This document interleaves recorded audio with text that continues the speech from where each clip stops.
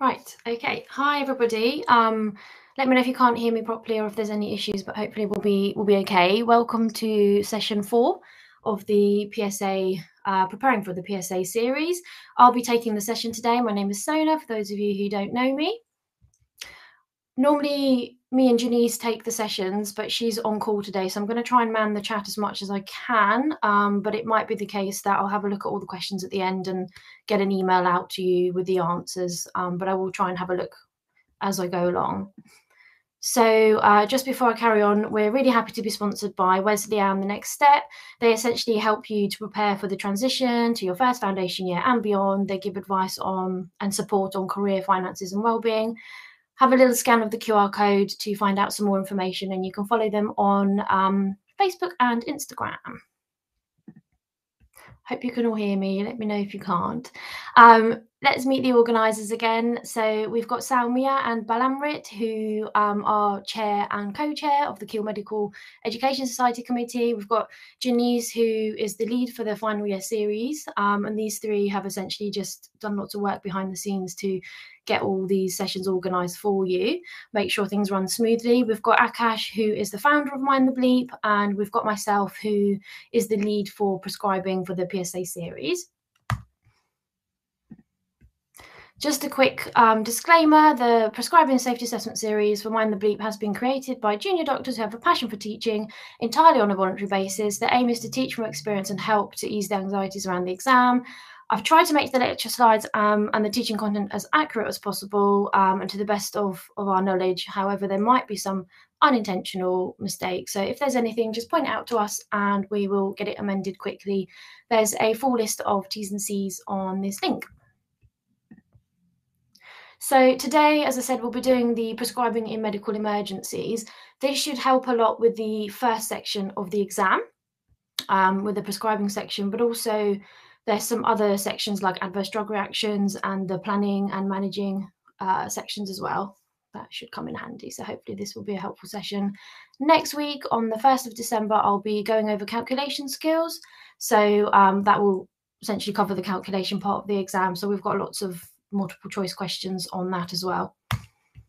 And then I'll let you read this in your own time. It's essentially all the other the sessions that we're going to be doing. The on the 7th of December, I've got a colleague of mine who's going to be running the medicine surgery section of the the, the blueprint, um, and I'll be there to to man the chat. Um, yeah.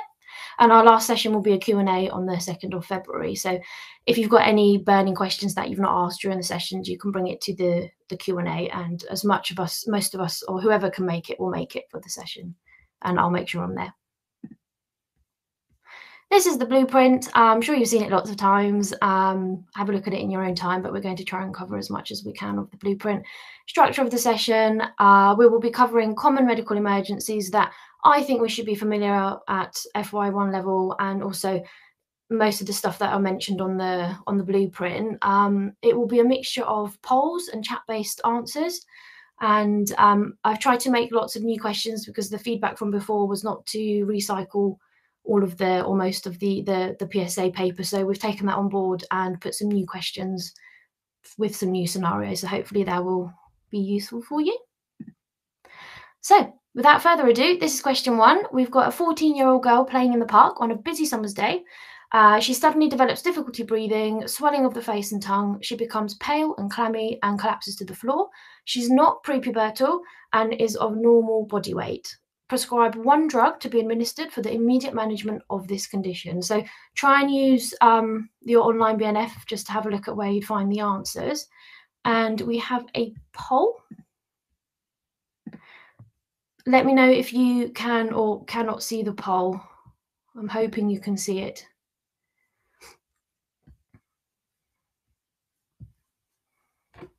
I'll just give you a minute or so to have a look, maybe two minutes.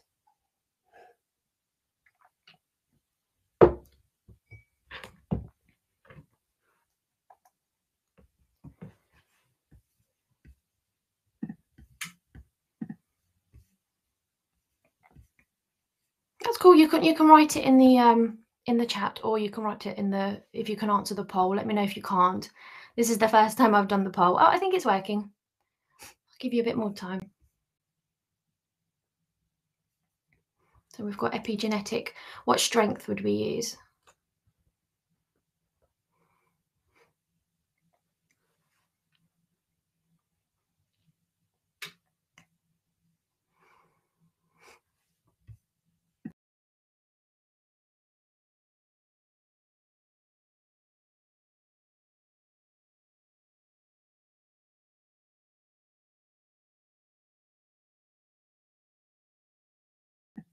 So we've got EpiPen, 300 micrograms, epigenetic 300 micrograms, um, and we've got about 18 responses. I'll wait just a little bit, a few more responses. I think there's about 40 of you here, and then we'll, we'll go through the answer. 300 micrograms. Okay, cool.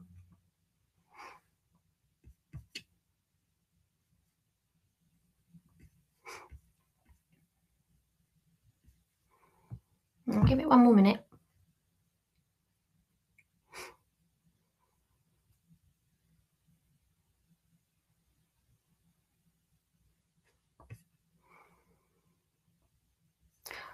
Yeah, I'm wondering that too. I think it might be a. I've not heard of it. I've heard of EpiPen. Um, it might just be a brand. Is it a branded EpiPen adrenaline or? Ah, okay.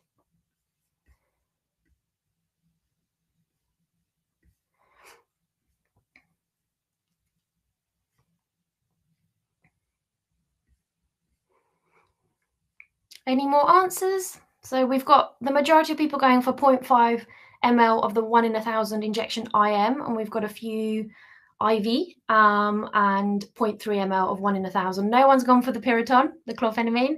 Um, cool. Okay. I've got two of the same answers there. Cool. So let's uh,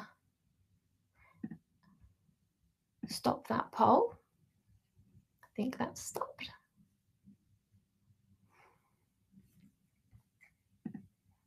So if you, this is so small for me on my screen now. If you um, type in anaphylaxis, for example, if, if you're thinking it's anaphylaxis, um, you can find it through medical emergencies as well, a treatment summary.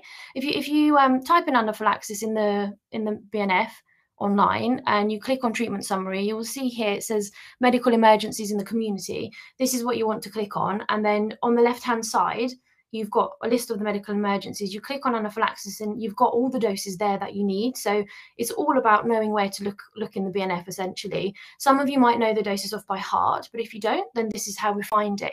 So we were told that she was 14. Let me get the question back up. She's a 14 year old girl. Um, and I've specifically told you she's not prepubertal and she's of normal body weight. So if we put her in this category, 12 to 17, it's actually 500 micrograms or 0.5 ml um, that we give intramuscularly. So um, it'd be interesting to know why some of you went for the 0.3. Was it because you're thinking she's a child or um, that's quite interesting because quite, quite a few of you went for that. So yeah, basically follow follow the algorithm. She's of she's not prepubertal and she's not sort of small. I've said she's of a normal body weight. So yeah, we'll go for the the 0.5 ml. Some of you have gone for IV. Um, I don't know if that was sort of answering it quickly, or or if you want to give it IV, we would never give this drug um, IV for uh, anaphylaxis. The one in 10,000 is given intravenously for cardiac arrest, but the one in a thousand in anaphylaxis will never we wouldn't be given it IV. So I don't know if it was a typo if you accidentally selected it or if you wanted it IV, but just be cautious of that in the exam you might accidentally choose IV in the drop down um, and you wouldn't get the marks for that because that's uh, it's, it's quite a high strength and it's dangerous to give it IV. So always IM for anaphylaxis. Excellent. Next question. Uh, we have a nurse looking after Jean. She's 78 years old and um, the nurse informs you that Jean appears to be more confused than usual this morning, is trembling and is slightly clammy. She appears cachectic and did not eat her breakfast. So these are quite inf- important information in the question question stem. She's type 1 diabetic, she's had a recent DVT, and she's on these following medicines. So she's on some insulin and she's on apixaban 5 milligrams BD for her clot.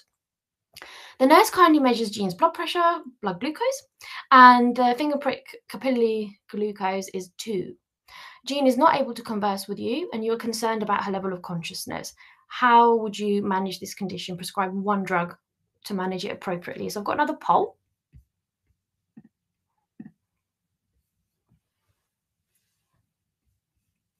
again, think about where you're looking in the BNF and how to get the answer because everything is in the BNF.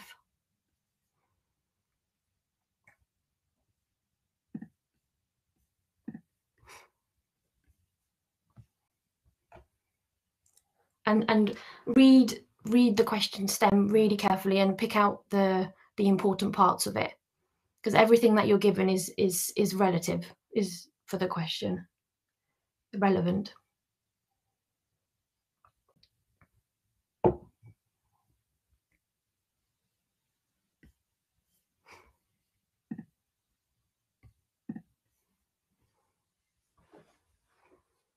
It's a good mixture of answers so far.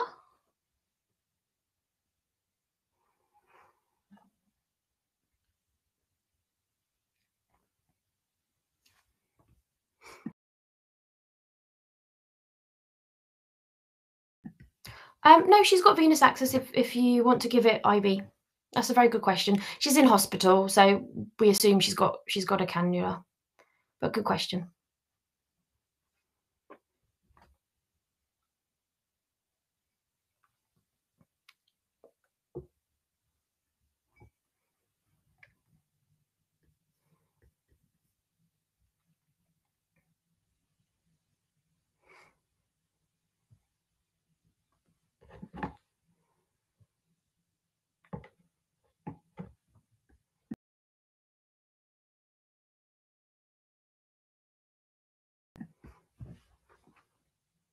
And in the in the PSA, I would imagine they would, you know, they would mention that they've got venous access. There shouldn't be any ambiguity. The questions mm, go through lots of different people, I would imagine, like our exams do as well, so that there aren't any ambiguities. So don't worry too much.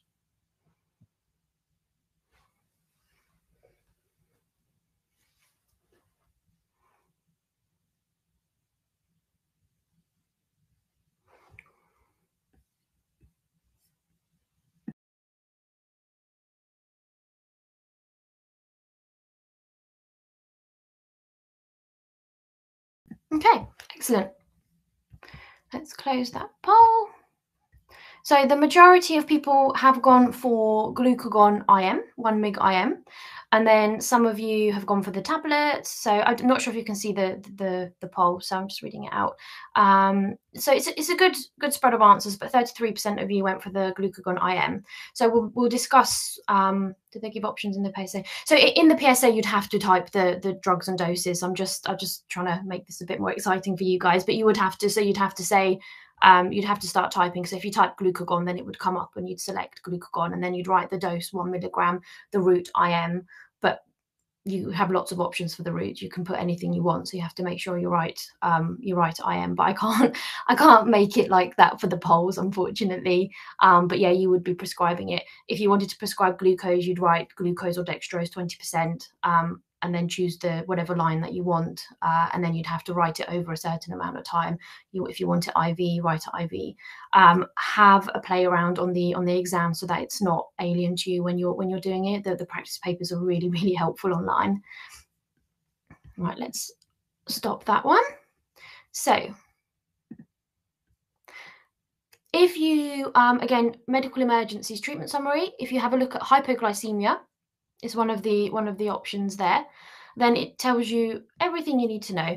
Um, the aim of the treatment is to give 15 grams to 20 grams load of glucose of, of a carbohydrate. Now, how you do that depends on how the patient is. So in the in the question stem, I said she's not you're you're concerned about her level of consciousness. She's not being responsive to you. So um, some of you suggested giving the oral tablet. That would be good if they were if if they had an incidental hypo, but they were talking to you. That would be great, and you weren't concerned about their swallow. But um, this patient doesn't sound like they'd be able to swallow, so it wouldn't be appropriate to give the, the tablets. Um, glucagon IM would be would be appropriate, especially if they don't have IV access. However, um, I'm just I've made these complex to sort of do some teaching as well, but um, the patient we said is cachectic and in in patients how do you specify 20 or 50 um, when you start typing it it will come up with a different percentage strengths and you can choose the the, the strength that you want. Um, have a go when you're typing it in the in the exam. In the name yeah so in the name you when you start typing glucose it will come up with the different percentages and you'll choose the percent and then in the dose you'll say 100 ml or 75 ml, and then in the time you'd say over 15 minutes, if that makes sense. Um, so glucagon IM would be a great option, but this patient is cachectic. So the way glucagon works is you need to have glycogen reserves, and in patients who are cachectic, they they don't do. Um, so it wouldn't actually work. It wouldn't be effective. So I'm I'm just trying to get you sort of thinking a bit more. So well done for choosing that. It's not it's it's incorrect in this instance, but I don't think the complex the question will be that complex in the exam. But just look out if they're cachectic, and also in real life, you wouldn't want to give it um, IM because it essentially wouldn't work. So um, you want to give 15 to 20 grams. So you can give, you can either go for the glucose 20% and you give 75 to 100 mil over 15 minutes, or you go for the glucose 10% and you give it 150 mil to 200 ml. We'll go over that. So um, I wanted to show you this because when when I was sort of prepping for the exam as well, I was worried thinking there's so many different combinations. Like, do they just want one one combination of time volume and and strength of, of glucose but if you have a look here you can there's so many things you can put and in fact they accept anything from 10 to 20 grams glucose load whereas the bnf actually says suggests to give 15 to 20 and the exam actually even accepts if you have a look here you can you can deliver up to 40 grams because they're saying it's better to give more than than less. Um, so I wouldn't panic too much. There's so many different combinations of of stuff that you can prescribe and still get full marks. So I hope that eases a bit of anxiety around that because um yeah, you don't you know you don't have to literally exactly put exactly what they want because there's lots of different options. Um the f- over 4 hours will be wrong because it's too slow. You want to give it over 15 minutes. Um, you can even you can see here they accept 20 minutes as well. So the BNF is a lot more strict than than what they want here do they give options? Let's see what other questions we've got. Um, so if what if they were cachectic, weren't in hospital, didn't have a safe swallow, didn't have venous access? I mean, it's better to give something than nothing. Um, but you would be rushing them straight to hospital and trying to get an IV line in. You won't get anything like this for the for the PSA exam, but and that would be quite unfortunate if that happened in the community. But um, it will be better than nothing. Um, but ideally, you want IV access the, the end goal would be to get IV access for them. So um, just a quick thing as well. So um, I think we've essentially gone over this. You can give by mouth if they're conscious, um, or you can give by buccal if they're uh, still conscious but uncooperative, so they might not swallow the the, the tablets. Um, so IM glucagon is incorrect because the patient is cachexic, um, cachectic, and that basically means they're very very low weight, so their glycogen stores are unlikely to to be enough for the glucagon to work. That's why. Um, and if they're unresponsive, then you um, you can give the glycogen, but uh, glucagon. But we've just explained why we wouldn't in this case. And if you have a look at glucagon in the BNF in the cautions, there's lots of other things that you wouldn't give it in.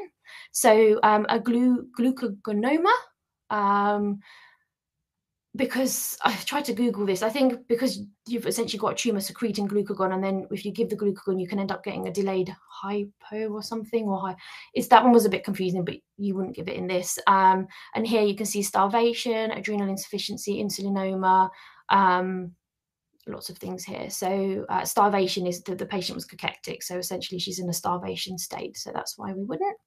I wouldn't worry too much for the exam because it would be a lot more clear cut um, I was just trying to cover a, few, a, bit of teaching as well.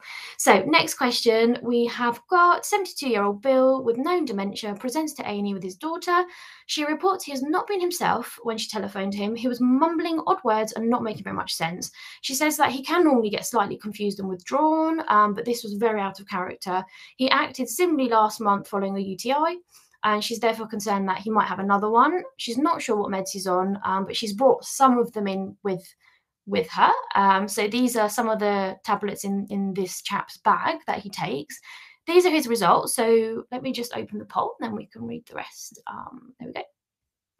So his urine dip, he was positive for nitrites, positive for leukocytes, blood ketones 4, random blood glucose was 8, VBG 7.29, and he's tachycardic with a blood pressure of 89 over 60. He's also got some abdominal pain discomfort and he's not following your commands very well at all. So, ah, how would you manage this um, condition?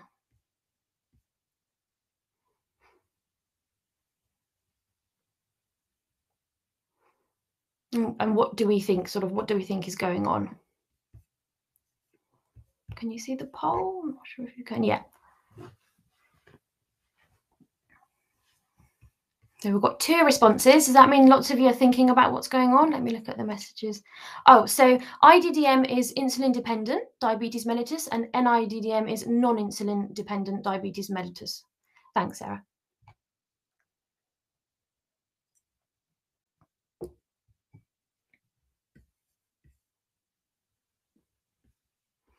So is there anything to suggest this patient is on insulin or is not on insulin? What what do we think is going on?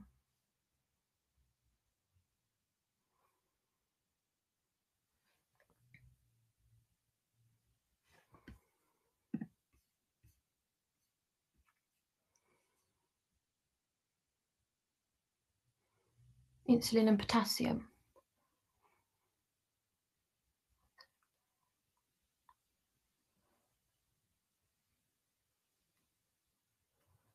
Yeah.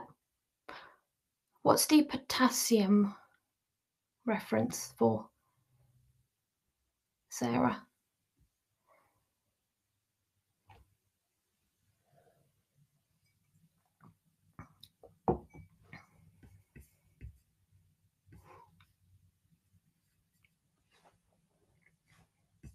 Sorry, guys. I'm trying to man the chat as well. So if it's a bit disjointed, apologies. Euglycemic ketoacidosis.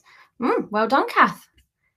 Amazing. So, just for the purpose of time, because there's quite a few questions I wanted to cover as much as possible, I will stop the poll. Um, majority of you have gone for DK in NIDDM. That could be because I didn't clarify what the NIDDM and IDDM meant. Um, or it could be because we weren't sure what this inlet was, but that's what 44% have gone for that. And then we've got um, recurrence of UTI, and then we've got DK in an insulin dependent diabetes mellitus. So if we just go through the rationale, so it's not a recurrence of UTI. I can see why you guys um, thought it might be. Um, basically, a urine dip isn't that indicative of a UTI in some in, in elderly in the elderly population. A lot of people can have um, positive leukocytes or nitrites and not have a, a, urine infection. So in the elderly, they actually say not to dip the urine. If you're, you know, if they're symptomatic, you could you send the urine for culture and you can treat. But there's nothing in this question to suggest that they were they were symptomatic. So it's a bit of a red herring, but just also a good learning point. Um, sometimes they can they can test positive but not have a UTI, and the it wouldn't really explain the the elevated ketones and the the the low low pH on the VBG. So um, it's not in a it's, it is DK, but it's not in a it's non-insulin dependent diabetes mellitus. If I just go back quickly, just to show you this, this is an Insulet device, and it's essentially used for people who um, who might have issues with their dexterity, if they've got maybe um, arthritis and, and deformities in their hands. It's sort of like it's a device with a big dial, so they can also see the units bigger. They dial it to the units, and then they press the green button. This bottom comes off, and then they essentially inject themselves. So um, thought it was quite interesting. This is this is a different device because normally you see the insulin pen, so that's why it's insulin dependent. Um, constipation it can cause confusion, but we wouldn't say it's the most likely cause given the rest of the picture. Pain can cause tachycardia, but again, not the most likely cause. Um, so the correct answer is DK in an insulin dependent diabetes mellitus. So well done to those of you. It could be a worsening of dementia, but it wouldn't be that that acute, especially with all the other things going on. So just a quick thing on, on the DKA. The, the D element of DKA is, essentially being diabetic or having a blood sugar of um, greater than 11 millimoles. Um, but I've put an asterisk here because in not not in all cases does your blood sugar have to be above 11 to be classed as DKA. The K is the ketone, so ketones greater than three in your blood or at least two plus in your urine, and then a VBG uh, pH less than 7.3 or a bicarb and or, a bicarb of less than 15. The most important thing to do is fluid resuscitate and reverse the metabolic disturbances. Will these? Yeah, yeah. So I'm going to try and find a way to just put all the slides up for you guys as well, so you can have a look later. I'll do that. I'll try and do that by next week because other people have asked as well, um, so that you can access it later. So don't worry about that. That's okay. So fluid resuscitate and reversal of metabolic disturbances. I'm sure you've covered this in your sort of um, in your teaching anyway. So write one prescription, and this is in the chat. This isn't a poll um, for one IV fluid that is the most appropriate for the initial management of this condition. So if you know what it is, you can prescribe it straight away, or there is a way of finding it in the BNF. So try both um, and see what what you would think. So I've just put the, his OBS again and some of the blood investigation results just to help you um, to decide what to do. So one, so the initial thing that you will do, obviously there's lots of things to do, um, but what's the initial thing? And this is something you, something common that you'll be asked to do to, to prescribe.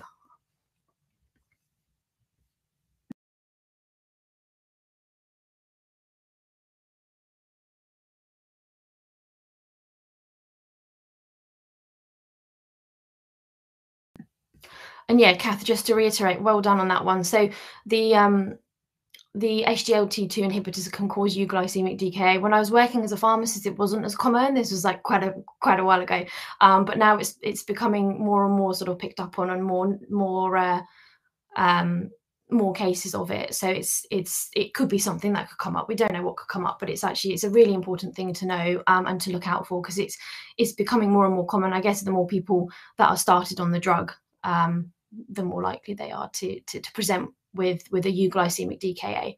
And I've got a little explanation later as to why that happens for those of you that aren't aren't aware.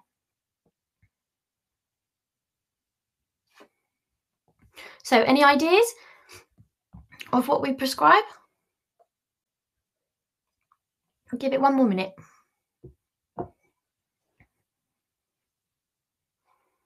Great. So have you Niv- Nivida. Sorry if I've pronounced that wrong. Have you have you found that in the BNF somewhere? Or yep, perfect.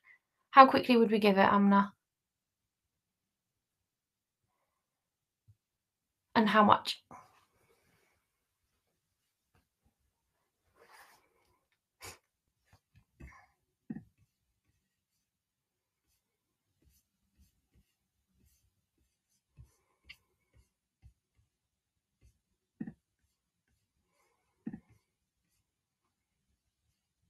Perfect. So I will um, go through this now. So if you type in, if, if you're thinking, oh, this is DKA, just type in DKA into the search bar. Um, and sorry, guys, I've done screenshots because um, I think it's better than switching between the screens still. So hopefully this is still helpful. Some of you yes, last time said to to show you how to find these things, but I think it will slow the, the system down. So type in DKA, um, click on treatment summary and DKA comes up. Um, it's actually quicker to just type DKA than diabetic hyperglycemic emergencies. You might make a typo when you type the longer one. So um, this is how quick and easy it is to, to find it in the BNF DKA treatment summary and it's the only thing that comes up. If you scroll down to DKA, um, it, if you're not sure what the initial management is, you probably would have covered this in your lectures, but you would the first thing you do is fluid resuscitate, and essentially just says fluid replacement. So um, it's a it's a mixture of acquired knowledge as well, but we we use resuscitate with sodium chloride um, in in DKA. So you can go to the um, you can go to the sodium chloride and then you there's actually a section for DKA and it says if if a systolic blood pressure is below 90 which it was for this patient this is what you give. Um, I personally don't think they're going to ask you to prescribe, you know, because with with DKA you you give the resuscitation, and then depending on the blood pressure, you'll give a liter over an hour, then a liter over two hours, then a liter over four hours. Is there's a protocol to follow, and I don't. I think it's too complex to be asked any more than this, basically. And this is essentially fluid resuscitation. So you could have a, a septic patient, a question based on a, a patient who's septic, and it's essentially the same thing. You'll give 500 mils over 15 minutes. Um, I'm not sure, Kath. Um, however, I think I think I have tried to type. I don't think there's an option for a fixed rate um, or sliding scale stuff on on the PSA exam because I think that would get a bit too complex. So I, I don't know personally, but I don't think you you would. And if you if you try some combinations in the prescribing section, I don't think the fixed rate stuff comes up.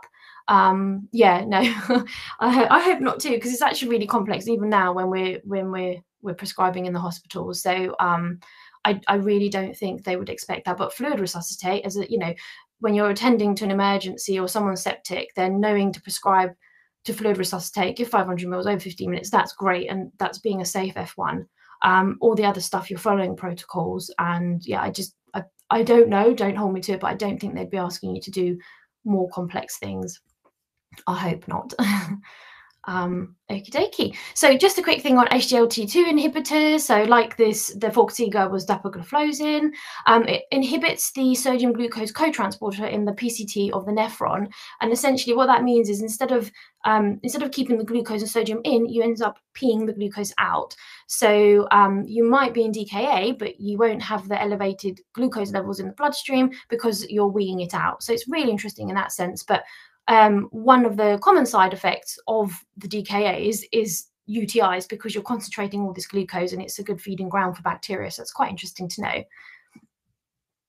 Insulin prescribing, one quick thing on this. Um, when you're prescribing, you have to write the words unit or international units out in full. You cannot abbreviate it, and this is even stated in the BNF. It's a never event if if there's if any harm comes to a patient, and um, because you've not written unit or international units in full. So it's just just make sure you write it out in full when you're prescribing. Uh, you should the device should be specified. So if it's a vial, cartridge, flex pen, InnoLet, um, or and the strength as well. So didn't used to be a problem before when there was just 100 units per mil, but now there's 200 units, 300 units, 500 units per mil. So always specify the units per mil as well and the units of the dose that you want, and also the brand to make sure the patient is maintained on the same brand, um, especially when they get discharged. If they're sent home on a different pen, and they don't know how to use it, that could be dangerous.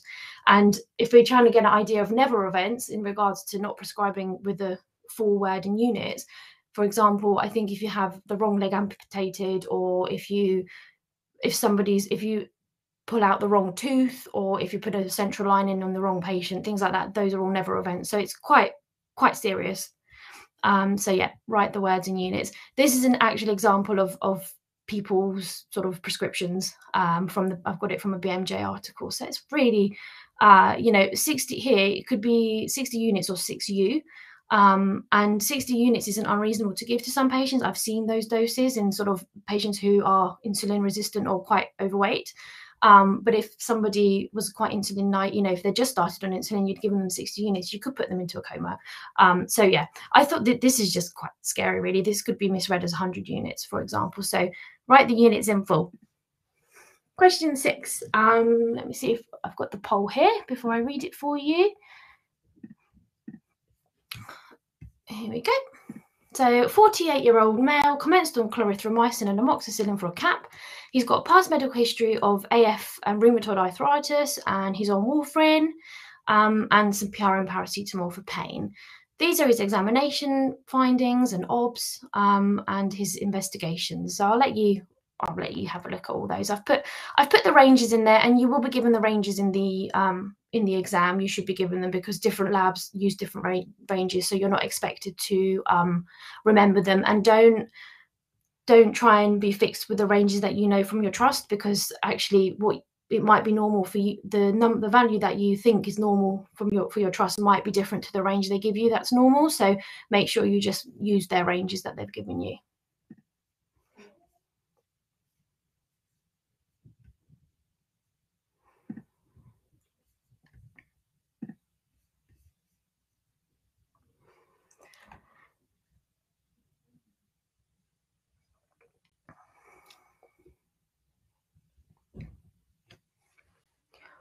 things to look out for here. The the INR his HB is normal. INR is above the range quite a bit above the range.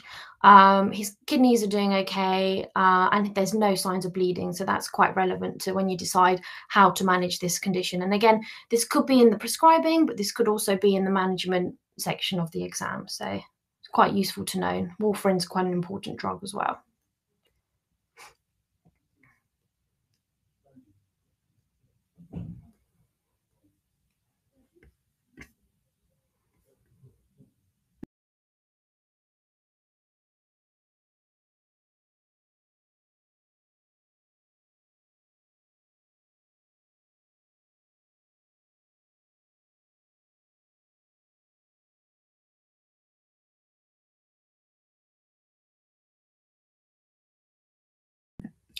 Um, so, so it doesn't say in the treatment summary. In the treatment summary, it says the mainstay of treatment initially is to fluid resuscitate.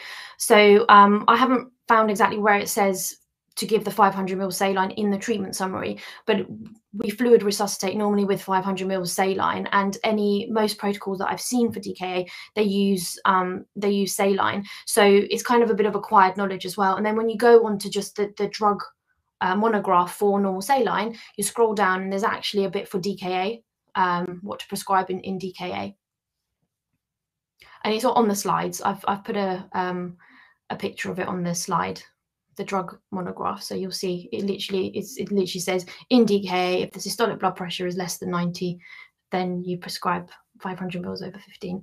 That's right.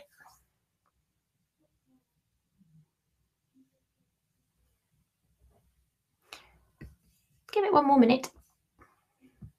I love how spread the questions are. This the answers are. This is great. At the moment, it's between um, vitamin K IV or vitamin K oral.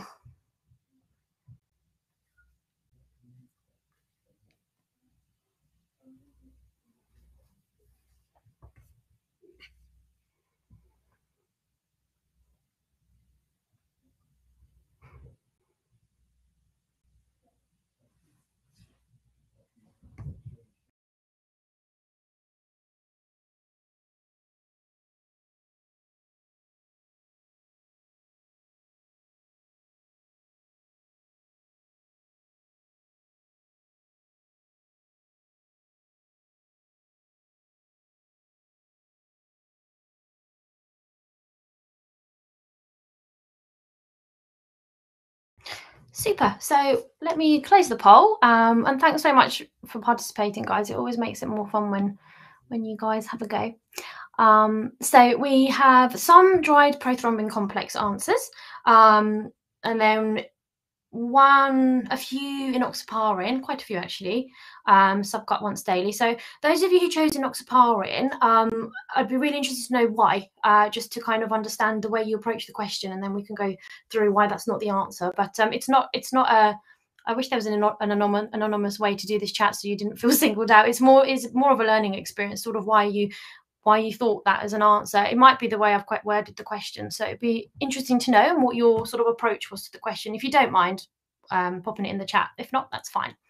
Um, and then, yep, and then some of us went for IV vitamin K and some went for oral stat. So um, if we type in oral anticoagulants um, in in the search bar, um, that's the treatment summary that that we want. And then you scroll down on the left, you choose vitamin K antagonists, and it essentially has everything you need to know here. So it's in the all anticoagulants treatment summaries under bleeding if, if you're bleeding. So um, in the question, we are told that the INR is over eight. So we go here, um, INR greater than eight.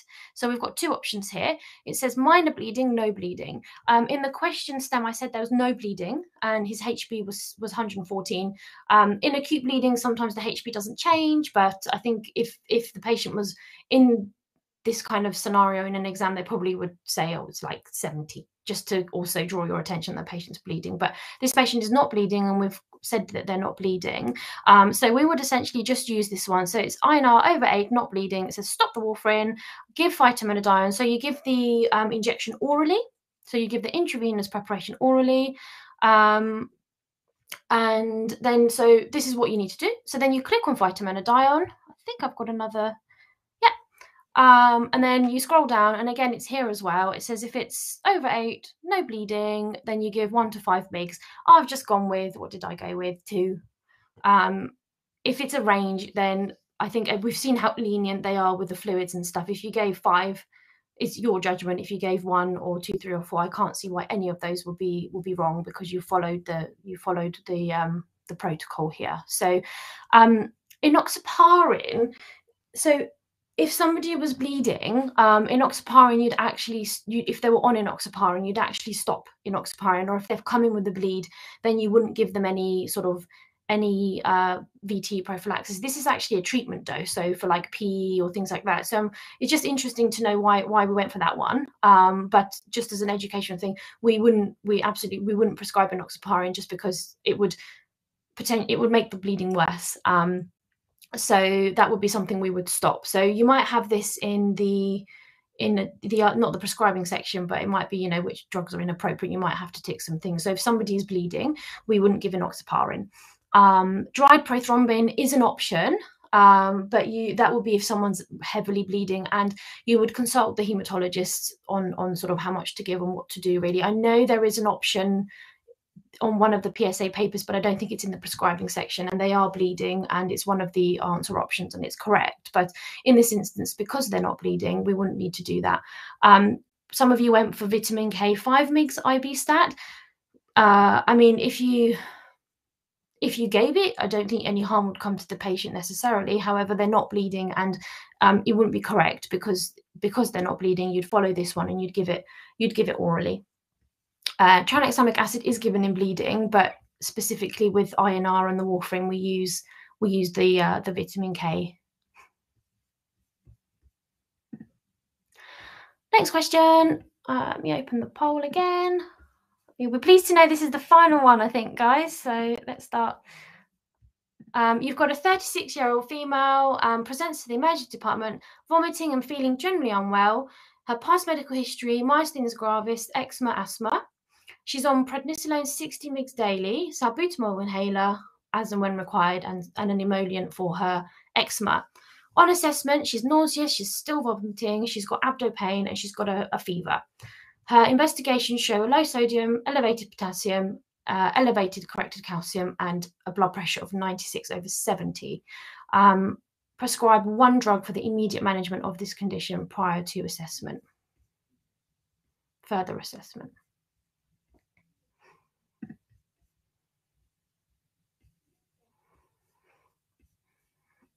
Now, this this this would be a great question to ask in the prescribing. I don't know if it has been in the past, but um, I think it's an important thing to know and to recognise.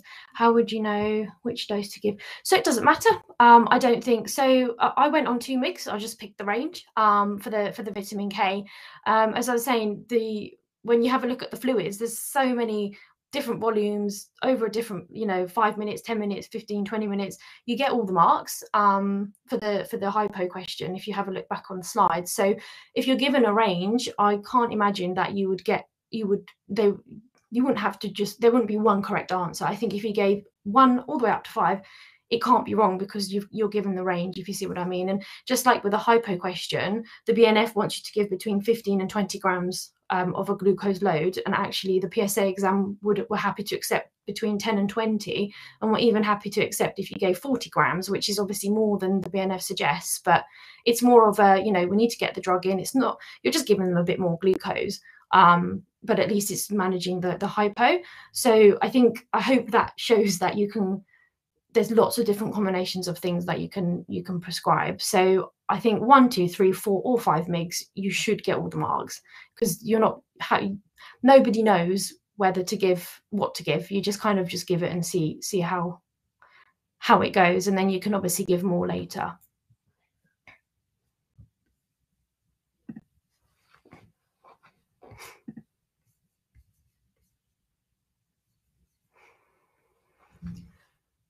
I'll just give it one more minute.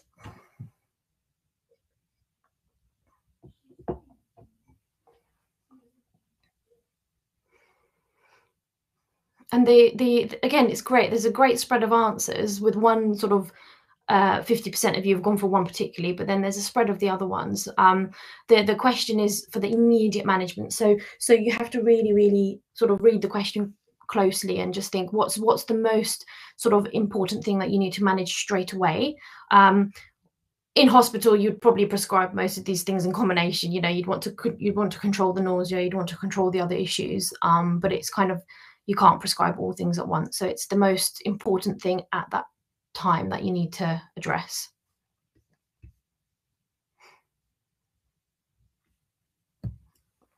Shiny.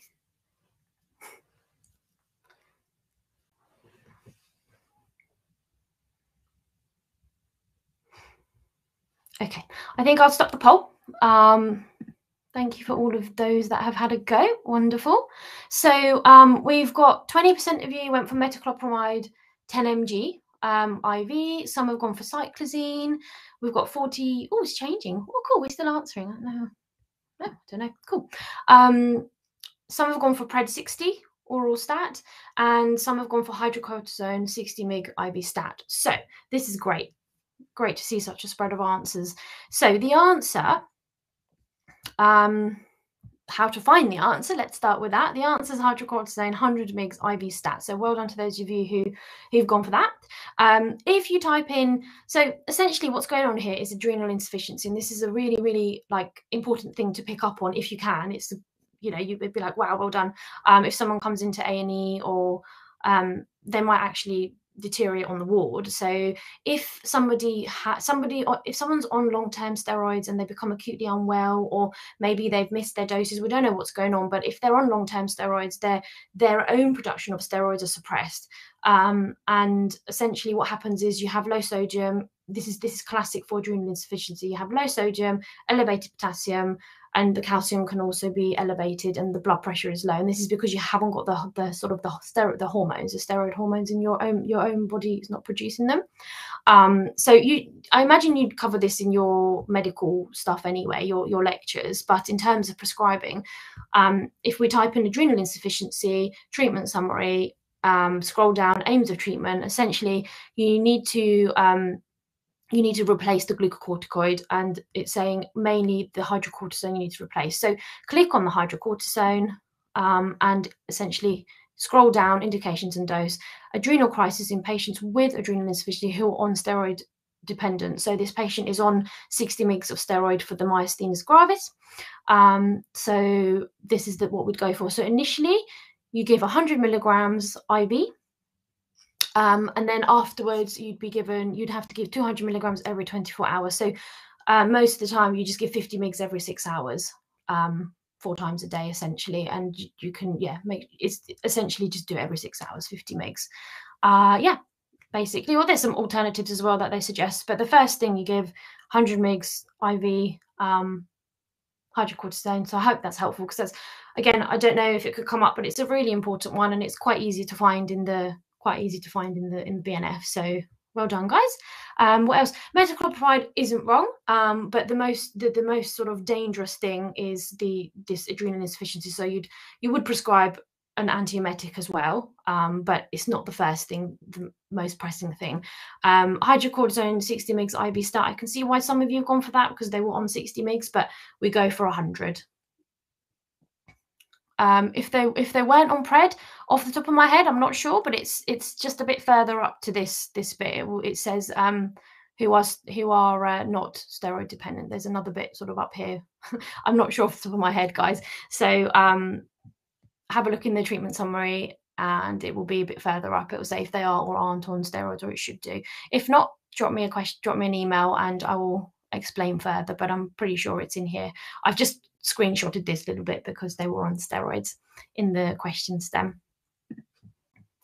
Um, so I haven't got any more any more sort of question based format questions for you guys, but I think just some other things to be aware of. I'm sure you guys already know, just to cover in your own learning is um, asthma exacerbation. This can come up across all the different sections of the prescribing of the exam. Um, and a good way to remember it, I don't know, you, I'm sure you guys are familiar with Oh Shit Me. Um, oxygen, so you want the target sats 94 to 98%. Um, Salbutamol, 2.5 to 5 mgs. The BNF says 5 mgs, but more recently there's sort of they've said there's not much difference between two and a half and five mgs. You're just exposing people to more side effects. But if you're not sure in the exam, like it's just best to go with what the BNF says. So just give five mgs and you can give that back to back. You'd give a hydrocortisone 100 mgs IV if they're not um, able to take PRED by mouth. Otherwise, you can give PRED 40 mgs by mouth daily. Um, and then you can give ipratropium nebulizers uh, every four to six hours.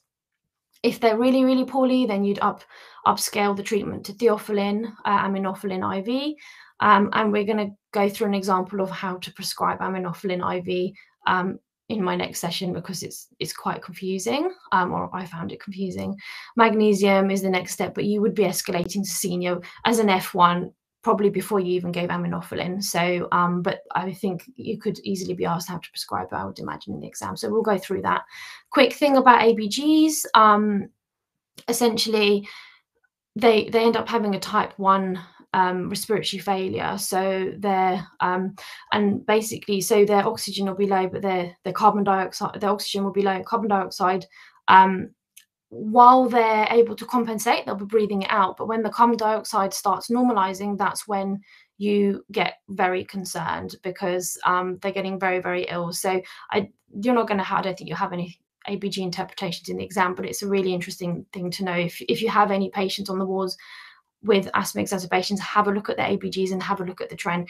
If the carbon dioxide is normalizing, that's a bad sign, and you'll be escalating to ITU um, because they're no longer able to breathe off the carbon dioxide, so they're tiring. Um, there's a treatment summary for the acute exacerbation of asthma, and it's super, super helpful. It classifies the different types because there's life threatening, severe, there's lots of different types. Um, and there's a good treatment sort of summary of what you what you'd give and how you'd manage it. So that's really, really helpful. Have a look at it, work your way around it, make sure you know what's what's there because it will help help in the exam. ACS as well, just a quick one on there. Um, type in acute coronary syndrome. It's a treatment summary. Have a look at the management for it. There's a mnemonic here, I'm sure you're all aware of, um, of MONA. The oxygen nowadays, um, you don't give it initially, and I think it says it here as well, um, should not be routinely administered. If their sats are below 94%, then you just treat it as the normal sort of low oxygen, you'd give oxygen, but otherwise you wouldn't routinely give oxygen to somebody. We learn in our simulations and stuff, you know, if someone's acutely unwell, you just put them on 15 litres non-rebreathe. In, in ACS, if their saturations are actually normal, then you don't need to give the oxygen have a look at the treatment summary. If you have any questions with the drugs, email me, but um, it's quite straightforward in there.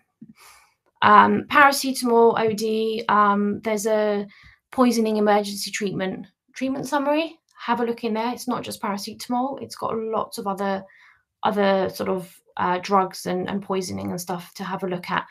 This will be useful in some of the other sections of the the exam as well, I imagine. Um, there's a really helpful table in the for the paracetamol overdose for the volume of acetylcysteine to give the different bags of infusions and how much to give based on weight. Just it's useful to know where it is um, and, and sort of how to navigate it. So have a look there. I think um, in the medical emergencies section in the community as well, it's the treatment summary. Um, have a look at just the emergencies in the community. Hypoglycemia, we've gone through anaphylaxis, we've gone through ACS, we've I've shown you um, bacterial infections, so things like meningitis. You could have a child who is suspected to have meningitis. Seizures is, is a good one to have a look at.